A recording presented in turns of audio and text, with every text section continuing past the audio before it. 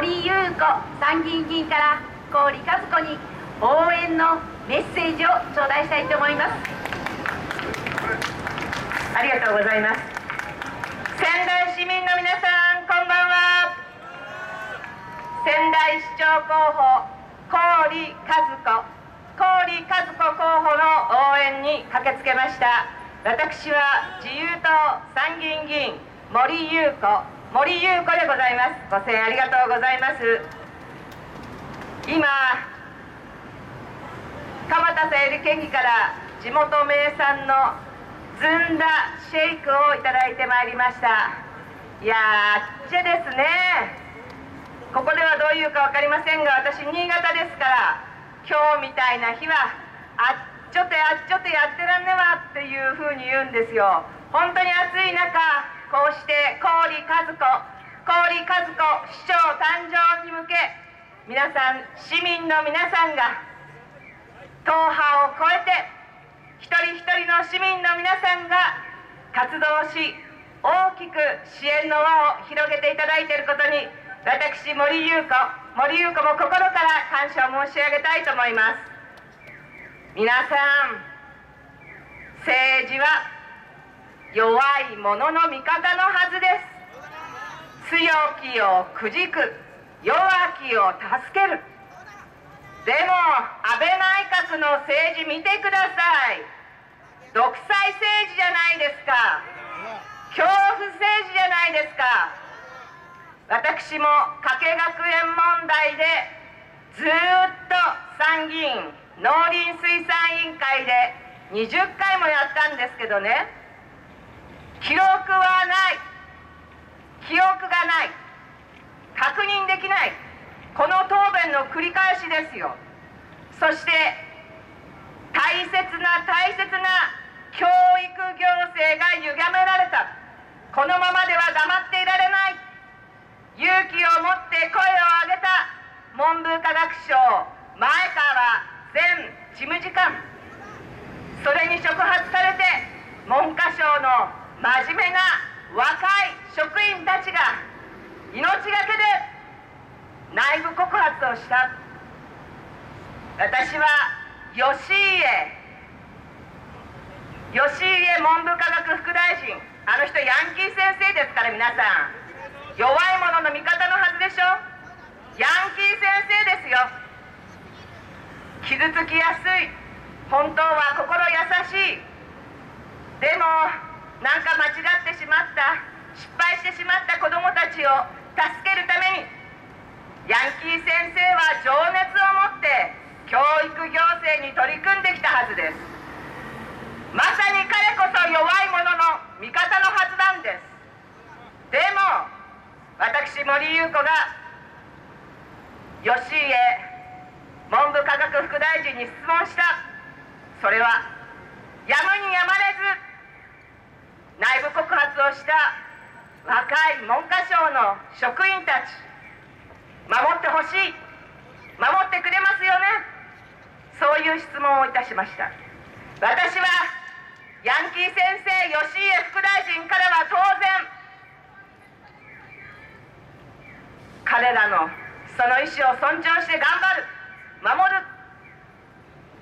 弱い者の味方の代表としてそういう答弁が返ってくると思ってたんですよ。でも結果は残念なことでした。内部告発者を守秘義務違反として法律に違反する恐れがある。自分の答弁を通して本当に真剣に命がけでこの国の日本の教育行政を守ろうとしている文部科学省の若い役所の人たち恫喝したんですよ。これ以上しゃべるなと恫喝したんですよ。政治は弱い者の味方です。でも安倍さんは加計学園あんな人助けなくたって、まあ、腹心の友らしいですけど。800億円以上の資産のある加計学園グループ。安倍総理が手助けしなくても立派にやっていけますよ。でもお友達には特別扱い。皆さんの生活はこの安倍第二次安倍政権で本当に良くなったでしょうか、はい、この間の通常国会で決まったことは年金医療介護負担増ばかりです。ちっとも良くなってないじゃないですか。異次元の金融緩和。でもデフレからは返し脱却できてないじゃないですか。何にもいいことがない。でもお友達には特別扱い。もうね今や森友学園あの問題が可愛く見えるくらい加計学園問題は深刻であります。森友学園籠池さんはただ同然で国有地を払い下げてもらいました。しかし加計学園は約37億円の公有地をすでにタダでもらったんです。ただですよ。ただで37億円の公有地をもらいました。そして52年ぶりにただ1校だけ獣医学部が新設される。そうすると今治と愛媛県から最大96億円補助金が出ます。まだまだあります。文部科学省から私学助成金。今でも加計学園グループは約15億円ももらってる。そこに上乗せされるんですよ。あまりにも不公平じゃないですか。庶民の暮らしは苦しくなるばかり。でも安倍総理ご夫妻のお友達には大サービス。これが今の政治の最大の問題です。そしてその安倍内閣自民党政治に歯向かう。人たちにはあらゆる手を使って弾圧し口封じをする。政治であります。今問われているのはこういう政治でいいのか。それとも99%の普通の人々皆さん仙台市民の皆さん一人一人に寄り添うそういうあったかい政治を取り戻すのか。そこが問われているのであります。郡和子さん別に私友達じゃありません。でも応援に来ました。友達同士で仲良くやってるとろくなことはありません。私は郡和子さんという人は衆議院議員として厚生労働や文科やとにかく弱い立場の人たち子どもたちそのために本当に必死になって働いてきた。そして実績を残していた。森の都仙台。この仙台市の新しい市長にふさわしいと思うからこそ今夜応援に来たわけであります。ほぼ同い年です。郡和子さんと。あ同い年だな多分。いい年になりました。でもね一生懸命やりますよ。私たちただのばあばだけど。でも汚職やそして偉い人に蛇こつらあの媚びへつらうそういうものとは全く無縁ですから。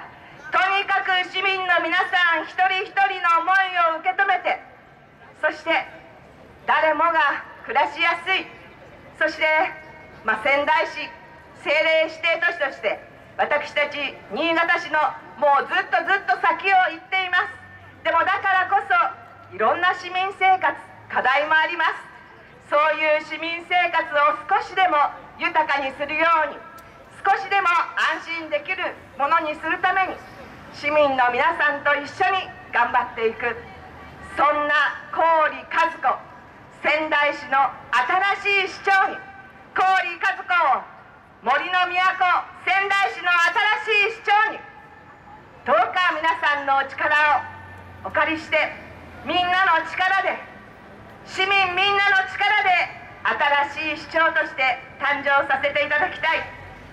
私参議院議員森裕子心からお願いを申し上げたいと思います、えー、来週7月25日火曜日あ月曜日は衆議院で火曜日は参議院で閉会中審査が再び開かれます。櫻井充参議院議員質問しますね。はい。民進党は櫻井充参議院議員がまた厳しくやります。そして自由党社民党共同会派希望の会私自由党参議院議員森裕子もっともっと厳しくやりますよ。お願いします。稲田朋美。稲田朋美防衛大臣。とんでもない。なんで辞めさせないんですか？そうだ。日本の信用をなくしてる。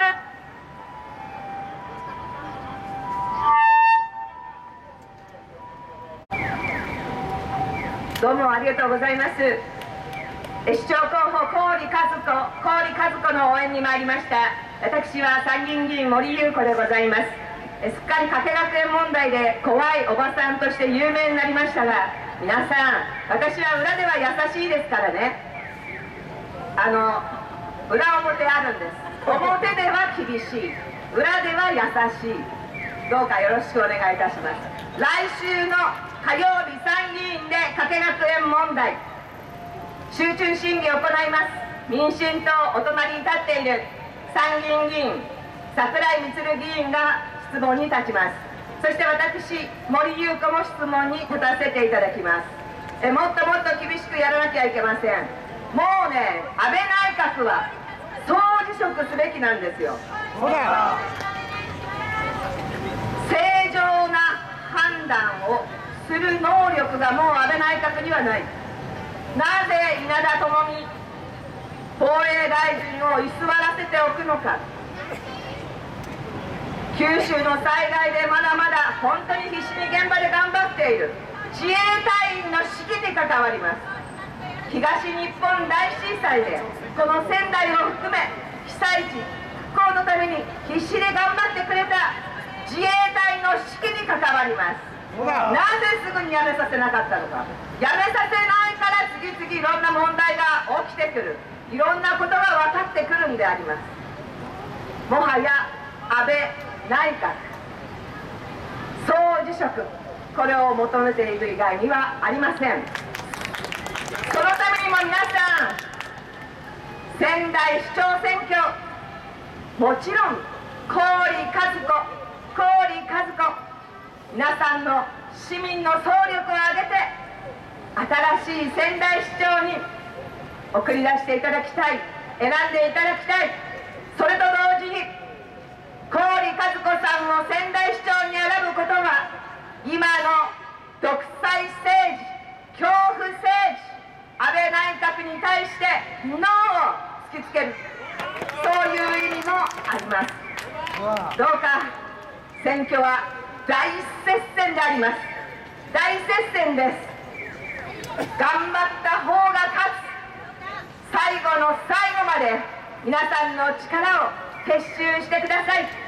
心からお願い申し上げましてえ私新潟県から応援に参りました参議院議員森裕子。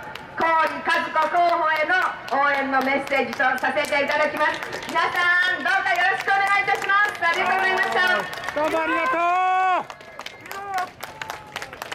ありがとうございます。森優子参議院議員から郡和子郡和子に力強いメッセージそして今の安倍政権に対してこの仙台から発信をして安倍政権にしっかりと打撃を与える。自民ファーストではなく市民が第一の仙台市政を作り上げていきます。郡和子に力強いメッセージをいただきました。